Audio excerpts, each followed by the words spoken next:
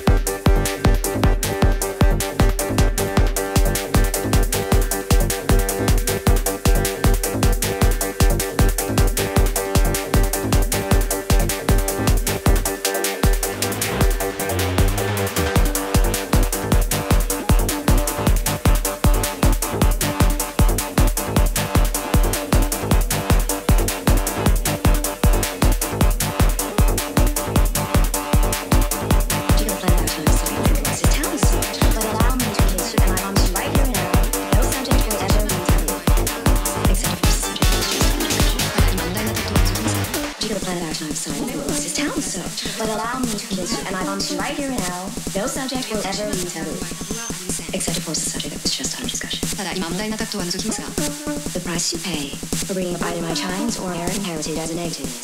I collect your fucking head. Just like this fucker here. The fuck devil is you now. Down. Any sons of bitches. Got anything else to say? Now's the fucking time! To the planet Action, I'm sorry.